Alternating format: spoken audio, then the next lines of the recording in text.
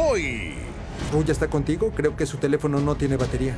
¿No estaba contigo? ¿Ella no está aquí? Ruya no fue a la oficina, dijo que iba a desempacar y estaba ocupada. ¿A desempacar? ¿Su maleta está aquí? Ahora sí se activó el tóxico. Y en la novela del momento, ¿será este el fin de Chelebi? ¿Chelebi está bien? Hicimos lo posible para salvarlo. La noche está que arde con Llamas del Destino, que llega a su antepenúltima semana después de Meriem por Telemetro, líderes de la turcomanía.